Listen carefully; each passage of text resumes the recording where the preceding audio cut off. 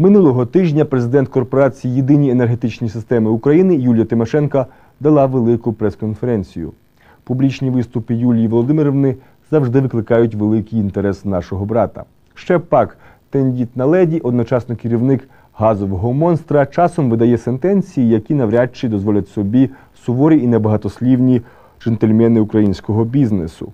Ось і цього разу, повернувшись з Америки, президент ЄСУ спростувала інформацію про власну причетність до опублікованого в часописі Тайм листа президенту Клінтону, що містив прохання розібратись з Ремом Вяхрєвим та його монополістськими замашками.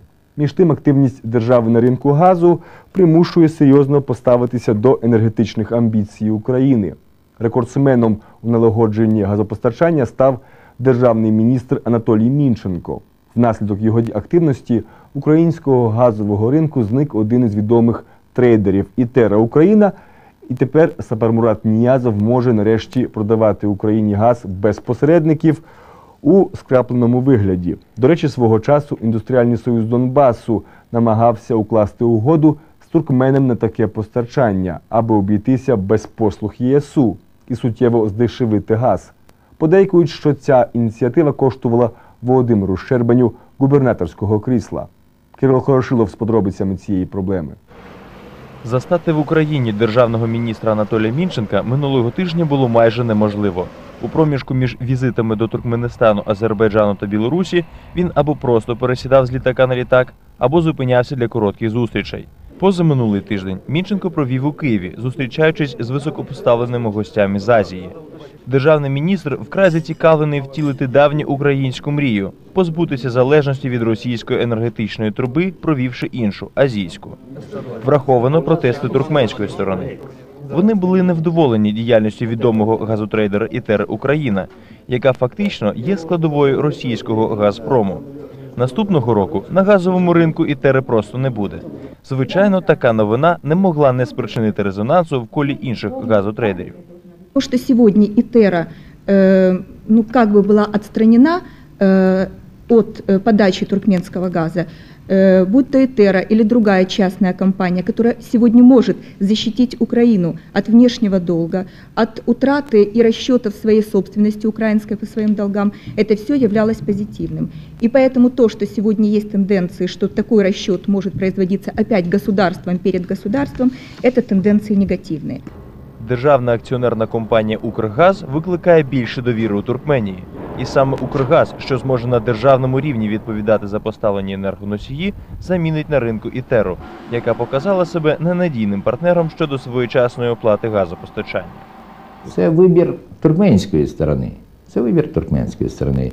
Я думаю, що це для України було б важливо, бо Укргаз це компанія українська без е, іноземних інвестицій, яка буде податки сплачувати.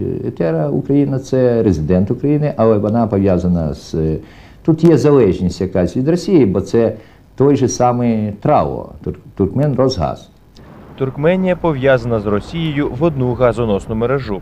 Зрозуміло, що Туркменбаши намагається змінити стан речей та самостійно провадити політику на міжнародній арені. Існує проект, згідно з яким через Каспій буде прокладено газову трубу, а потім з Баку в скрапленому вигляді в цистернах паливо транспортуватиметься до Поті та далі поромом до Іллічівська. Цікаво, що подібна ідея першою спала на думку Юхимові Звягільському, що тоді виконував обов'язки прем'єр-міністра. І вельми активна діяльність його послідовника Анатолія Мінченка в цьому напрямі не може сподобатись Газпрому, який втрачає надприбуткове монопольне становище в Україні. Эти отношения устанавливались между нашей организацией РАО «Газпром» очень долго, очень тщательно. И мы свой авторитет в РАО «Газпром» завоевывали достаточно продолжительное время. Это очень непростое сотрудничество.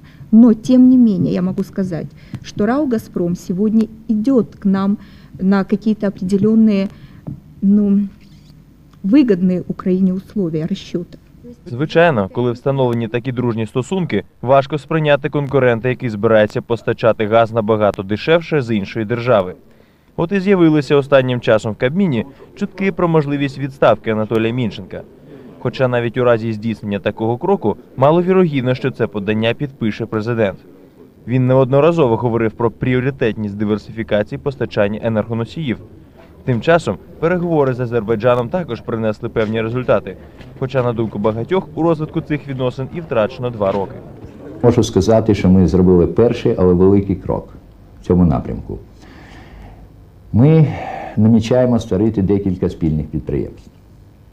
В тому числі Україна офіційно запрошена президентом Азербайджану паном Алієвим до участі в одному із консорціумів, який буде видобувати нафту в Каспійському морі.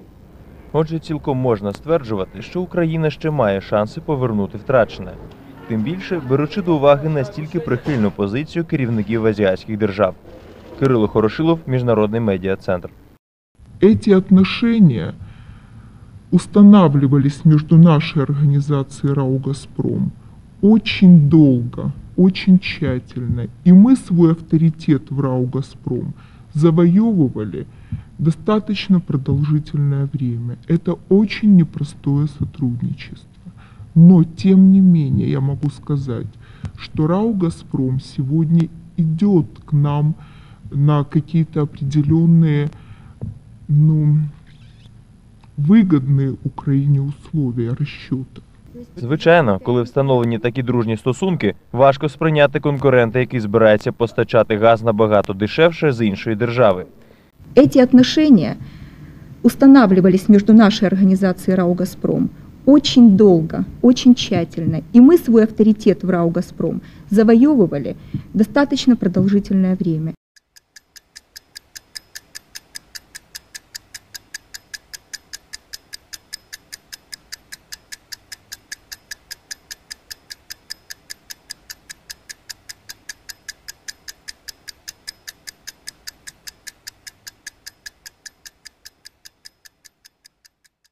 Эти отношения устанавливались между нашей организацией РАО «Газпром» очень долго, очень тщательно. И мы свой авторитет в РАО «Газпром» завоевывали достаточно продолжительное время.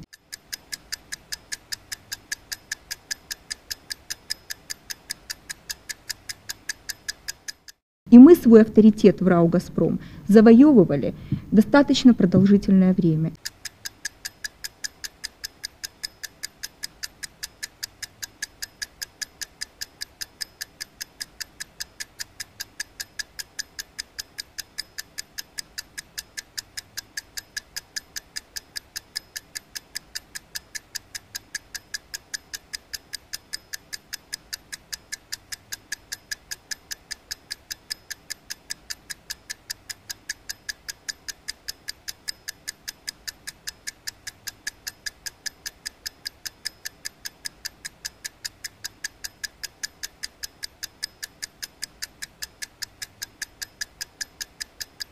И мы свой авторитет в РАО «Газпром» завоевывали достаточно продолжительное время.